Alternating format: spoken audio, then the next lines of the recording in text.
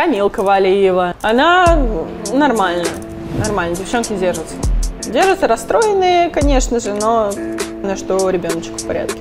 А то после Олимпиады близкие мне люди рассказывали про мое состояние. Женя так переживала, ей было так плохо. Я сама об этом не говорила. А я не буду говорить про Камилина состояние.